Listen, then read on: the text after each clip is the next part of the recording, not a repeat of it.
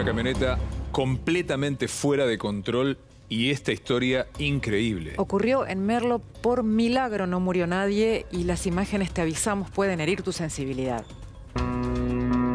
La camioneta pierde el control y termina chocando contra la pared de una casa. Un poste de luz atenuó el impacto y salvó a dos vecinos que caminaban por la vereda. Ayer domingo al mediodía, en la avenida Filiberto de Merlo.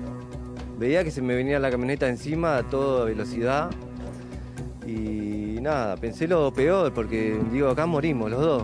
Y se nos vino encima de la camioneta a los dos. Cristian Valenzuela tiene 29 años y su pareja Cristian Reinaldo 43. Ambos resultaron heridos en la cara, el pecho y las piernas. No lo puedo creer todavía que estamos vivos. A mí me chocó contra esta pared, acá. Y me salvó esto que lo hizo la coleada para que venga para acá, si no me enterraba contra esa columna. Fue el impacto acá en la pierna de la punta de la camioneta que me chocó contra esa pared, acá, justo ahí. Y después los tobillos que me dio contra la pared, porque me hizo contra la pared así. Ayer domingo salieron a hacer una compra al mercado y volvieron a nacer. Fue de milagro el choque que, tuvimos. Probablemente volvimos a nacer los dos juntos, porque si vieron el video, uno se fue para un costado y el otro para el otro, ¿viste? Y yo, la verdad, estoy impactado todavía. Para mí es el segundo día de vida que tengo. El conductor de la camioneta es menor de edad. El dueño del vehículo iba en el lugar del acompañante. Ambos están imputados por lesiones graves. En el vehículo se encontraron bebidas alcohólicas. No, y no lo puedo creer todavía porque estoy impactado por el momento. Pensé que lo atropellaba y que lo mataba a él. Y nada, entonces me salí corriendo y lo fui a buscar a él. Porque él es mi compañero y bueno, yo quería que esté bien nada más. Pero fue horrible el momento. No me lo voy a olvidar nunca.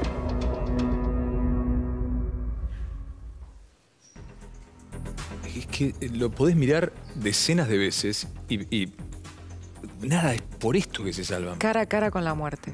Pero de verdad. cara a eh, cara. Estamos en un lugar, estamos en directo. Matías Castelli, contanos. Así es, es increíble el video, Rodi Cris, y se acaba de conocer otro video de esta misma situación. Observen ustedes nuevamente esta camioneta fuera de control, manejada por un menor de edad y realmente la secuencia es milagrosa. Muchas veces uno dice se salvaron de milagro como una forma de decir, bueno, realmente en este caso es literal. Estamos en la vereda.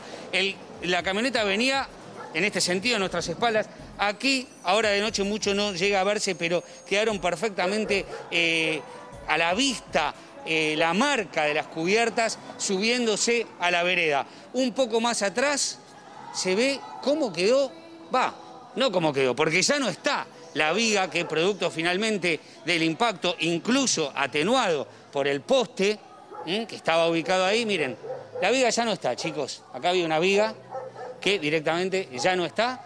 Y más arriba la cámara, ¿no? Uno ve la ausencia de esta viga y se imagina lo que fue este impacto atenuado de milagro, Cristian, por ese poste que le salvó la vida. La verdad que sí, estamos vivos de milagro y nada, todavía no lo puedo creer yo. Estoy choqueado, impactado. Y nada, volví a nacer de nuevo. Y bueno, con más fuerza y a seguir adelante, qué sé yo. Lo único, lo único que pensaba era en mi pareja y que esté bien y nada más. Sí, se ve como eh, se abrazan choqueados eh, inmediatamente después de este, este momento increíble. Sí, la verdad que fue muy fuerte porque no sabíamos para dónde ir, ¿viste? Y se venía muy rápido la camioneta y quedamos quietos porque no sabía dónde iba a estallar, dónde iba a ir, para dónde iba a ir. Y yo lo vi que corrió para la pared y justo venía para nosotros.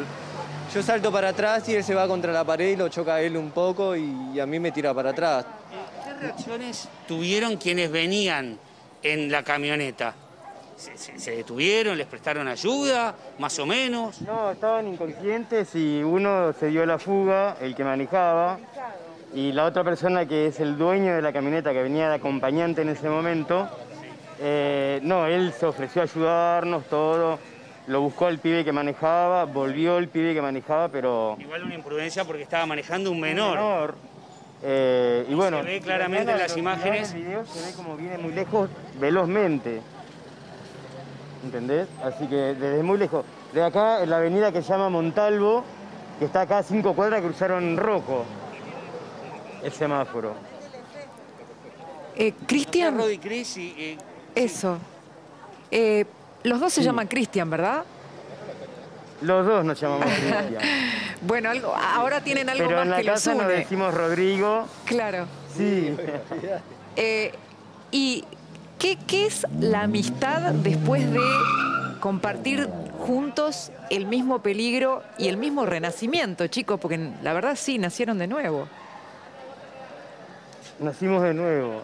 La verdad que nacimos de nuevo y bueno, estamos contentos de, de estar acá hablando con vos, porque si vos ves el video no la contábamos. Y, y- y- y le digo al otro Cristian ahora, vos estás todavía eh, emocionado, medio lagrimeando, Cristian, o yo escuché mal.